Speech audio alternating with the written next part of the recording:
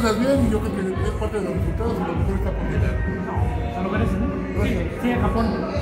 Así iniciamos un puerco blog más aquí en la terraza de Madero, porque recuerden que con el Margarito todos somos puercos. ¡Joder!